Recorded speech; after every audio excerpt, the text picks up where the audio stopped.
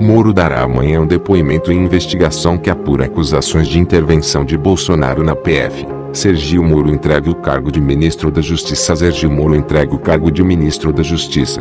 Goiás News Notícias. Sem mais delongas, vamos para a notícia. O ex-ministro da Justiça Sergio Moro vai depor neste sábado, 2, em Curitiba, no inquérito que apura as acusações de que o presidente Jair Bolsonaro tentou interferir no trabalho da PF.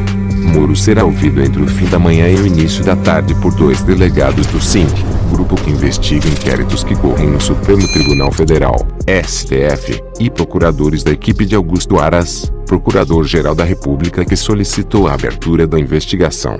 O local do oitivo deve ser a superintendência da PF na capital paranaense. O ex-ministro voltou a morar em Curitiba depois de um ano e quatro meses em Brasília como ministro do governo Bolsonaro.